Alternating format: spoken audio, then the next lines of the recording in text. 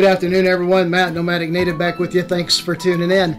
So, uh, the honeymoon is over with the Nautilus RV sliding shower door.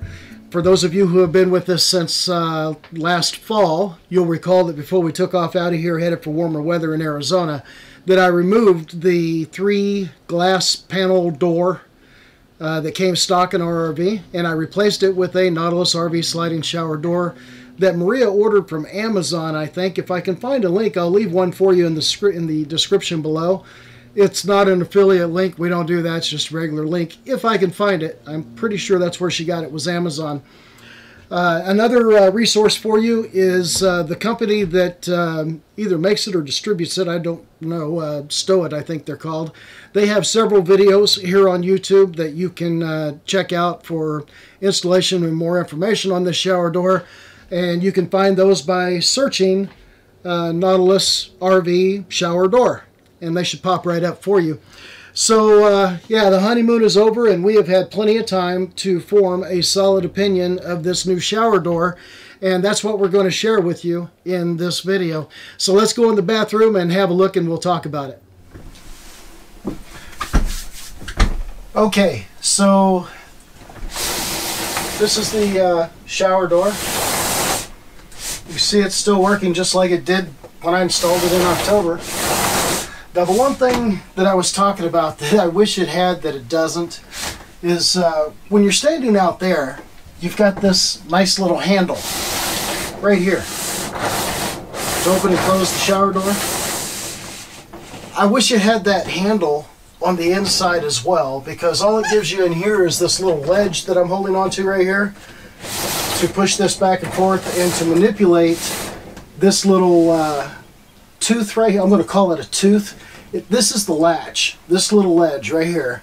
And it catches on a little ledge on this uh, uh, bar over here when you shut it. Kind of like that.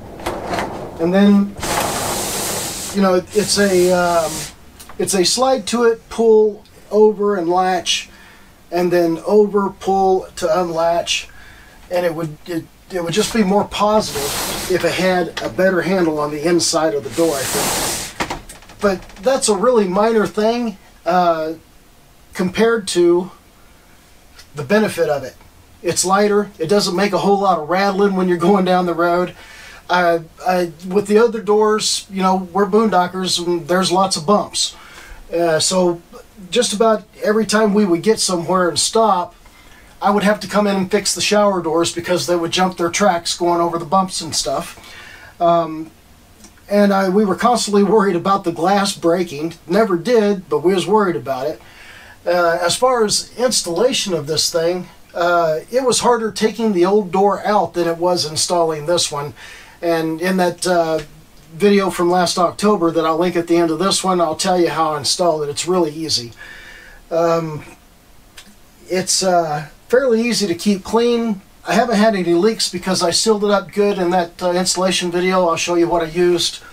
And uh, one thing that I do really like about it, and it's going to be hard to show you this in this space.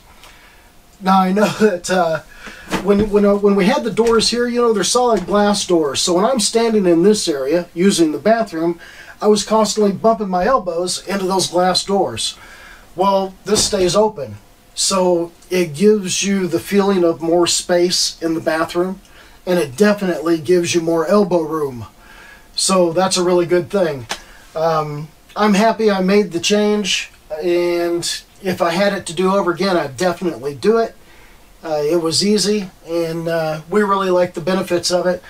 We haven't seen, uh, I explained in the installation video that uh, this is that, uh, you know, stuff that doesn't let the fungus that grows and kills you grow. Yeah, well, we haven't had any of that. You know, it stayed uh, fungus moldy free totally. So uh, that's good. And the mechanism still works. The slide mechanism, the squeegee mechanism, everything seems to hold up pretty well on it. Can I recommend it? Sure. If you're like me and you don't like that heavy glass sliding shower door and keeps jumping its tracks and you're fed up with it, If you'd like a little more room in your bathroom so you're not bumping your elbows into the shower door like I was doing, um, yeah, I could recommend this. It's worked out well for us. That wind is really picking up out there. So guys, that is our uh, after the honeymoon video and opinion on the Nautilus RV sliding shower door. Yes, we can recommend it. It was easy to install. It's pretty easy to maintain. It's held up well. And it gives you some of those added little benefits like that extra elbow room that uh, all add up to a pretty good uh, upgrade in my opinion. Listen, if uh, you like this video or you found it helpful, please give us a thumbs up. If you did like this video or you didn't find it helpful, don't forget to pound that thumbs down button twice, and we'll try harder in the next one. If you haven't subscribed, we invite you to subscribe and follow along. If you have any questions or comments, please leave them in the comments below. Thanks for tuning in, everyone. We'll see you soon.